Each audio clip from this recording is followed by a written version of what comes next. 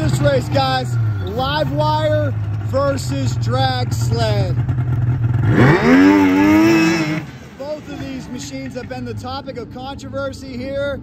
Some of the motorcycle ET guys think both have an unfair advantage. It is drag sled versus LiveWire. Which one would you rather race and why?